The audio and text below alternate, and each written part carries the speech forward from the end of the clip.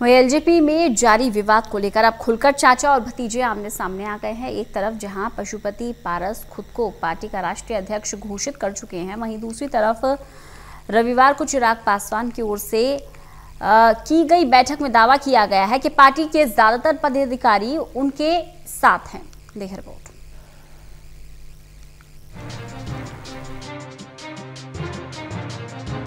चिराग पासवान ने रविवार को दिल्ली में लोक जनशक्ति पार्टी की राष्ट्रीय कार्यकारिणी की बैठक के ज़रिए शक्ति प्रदर्शन किया। उन्होंने 5 जुलाई को पार्टी के संस्थापक रामविलास पासवान के जन्मदिन को पूरे देश में मनाने और उस दिन हाजीपुर से आशीर्वाद यात्रा निकालने की घोषणा की। ये यात्रा दो महीने तक हर जिला और प्रखंड मुख्यालय तक जाएगी। चिराग ने कहा, पूरे प्रदेश में यात्रा पूरी करने के बाद इसका समापन पटना में विशाल रैली के साथ होगा और वे विरोधियों को करारा जवाब देंगे। रैली के दिन पटना में ही राष्ट्रीय कार्य परिषद की बैठक होगी।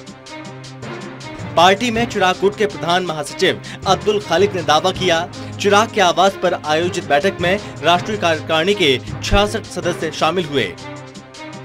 इनमें 43 सदस्य फिजिकली और जबकि 33 सदस्यों ने वर्चुअली हिस्सा लिया। सशरीर उपस्थित होने वालों में राष्ट्रीय अध्यक्ष एवं प्रधान महासचिव के अलावा एक उपाध्यक्ष, चार महासचिव, नौ सचिव 20 राज्यों के प्रदेश अध्यक्ष 10 प्रकोष्ठों के अध्यक्ष शामिल थे। वर्चुअल रूप से दो राष्ट्रीय उपाध्यक्ष, एक महासचिव, दो सचिव, दो प्रकोष्ठों के अध्यक्ष और तेरह राज्यों के प्रदेश अध्यक्ष शामिल हुए। सभी ने चिराग पासवान की नेतृत्व में विश्वास जताया और उनके तमाम फैसलों को सर्वसम्मति से माना। बैठक में पहले चिराग पासवान ने मौजूद सदस्यों को पार्टी संविधान के तहत शपथ दिलाई। साथ ही में हम लोगों ने हमारे पार्टी के संस्थापक, हमारे नेता आदरणीय रामविलास पासवान जी के लिए जो सर्वोच्च नागरिक सम्मान होता है भारत रत्न, उसकी मांग हम लोगों ने प्रधानमंत्री जी से की है। साथ ही में हम लोगों ने आग्रह किया है कि उसकी एक विशाल का प्रतिमा उनकी पटना में जो उनकी कर्म भूमि रही है, वहाँ पर उनकी वो प्रतिमा लगाई जाए। जैसे कोरोना की महामारी की दूसरी लहर हम लोगों ने देखी, संभावित तीसरी लहर की भी आशंका जताई जा रही है। उसके लिए हमारे कार्यकर्ता मजबूती से तैयार रहें, अपने ज़िले में, अपने प्रखंडों में, अपने पंचायतों में अपने गाँव में उनकी मदद करने का भरपूर प्रयास करें उसका आग्रह किया गया है। और साथ में ये प्रस्ताव कि जो मेरा चुनाव 2019 में हुआ था आ, मेरे नेतृत्व में और जितने निर्णय मैंने इस दौरान लिए हैं उसमें कार्यकारिणी के तमाम सदस्यों ने अपनी निष्ठा अपनी आस्था जताई है और यही तमाम प्रस्ताव थे जिनको हम लोगों ने पारित किया। आज की तारीख में पार्टी किस तरीके से आगे क्योंकि जिन लोगों ने धोखा दिया जिन लोगों ने पीठ में छुरा भोंका उससे पार्टी के तमाम सदस्य बहुत ज़्यादा दुखी हैं। आने वाले समय में पार्टी का संगठन जो भी निर्णय लेगा, उस दिशा में कार्रवाई की जाए इस बैठक में पाँच प्रस्ताव भी पास किए गए, जिसमें चिराग पासवान के नेतृत्व में विश्वास एवं सभी फैसलों पर सहमति प्रस्ताव। पशुपति कुमार पारस द्वारा लोजपा के नाम पर की गई घोषणा और उनके बयानों की निंदा प्रस्ताव। रामविलास पासवान को भारत रत्न देने तथा बिहार में उनकी प्रतिमा स्थापित करने की प्रधानमंत्री से मांग। कोविड से पीड़ित लोगों को घर घर जाकर मदद करने, टीकाकरण में कार्यकर्ताओं की भागीदारी। बिहार में बाढ़ से प्रभावित जनता को हर संभव मदद पहुँचाने का संकल्प। बिहार की राजनीति में रामविलास पासवान की खड़ी की गई पार्टी लोजपा में हक की लड़ाई अब दिलचस्प मोड़ पर पहुँच गई है। रविवार को दिल्ली में चिराग पासवान ने अपने घर पर राष्ट्रीय कार्यकारिणी की बैठक बुलाकर चाचा पशुपति कुमार पारस को पार्टी का सिंबल और नाम नहीं इस्तेमाल करने की चुनौती दी। इससे पहले लोजपा के पारस गुट ने शनिवार को नया दाव चलते हुए लोजपा के राष्ट्रीय एवं प्रदेश के कई प्रकोष्ठों की कमेटियों को तत्काल प्रभाव से भंग कर दिया था।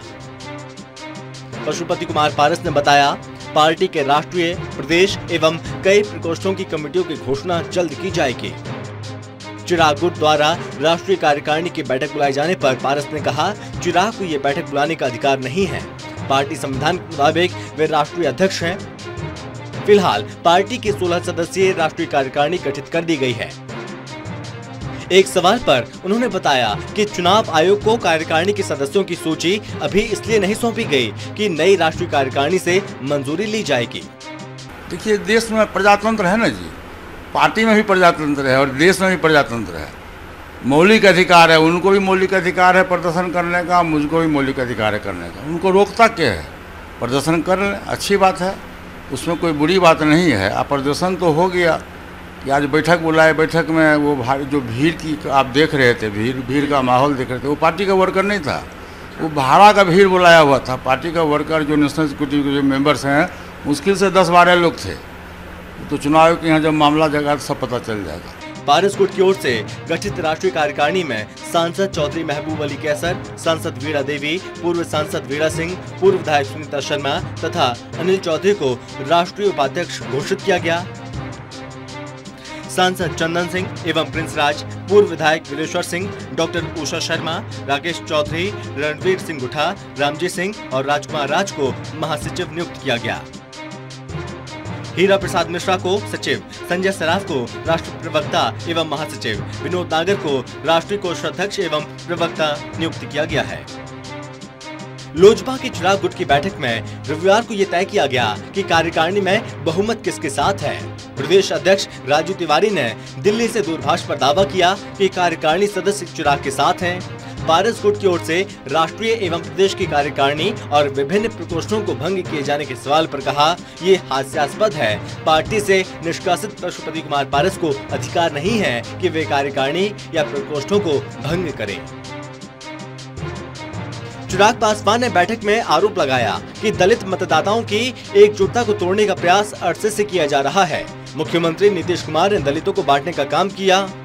हमने उनकी नीतियों के चुनाव में विरोध किया। इसके चलते विधानसभा चुनाव में जेडीयू की सीटों की संख्या आधी हो गई। इससे लोजपा को तोड़ने की साजिश रची गई। इससे हम नहीं डरेंगे और आगे की लड़ाई तेज करेंगे। यदि बिहार विधानसभा चुनाव में जदयू द्वारा दिए गए 15 सीट के प्रस्ताव पर समझौता कर लिया होता तो बिहार में हमारा भी मंत्री होता, लेकिन मैंने ऐसा नहीं किया। अब ऐसे में देखना होगा कि ये लड़ाई कहाँ जाकर खत्म होती है और पार्टी का असली नेता कौन होगा। Special desk total TV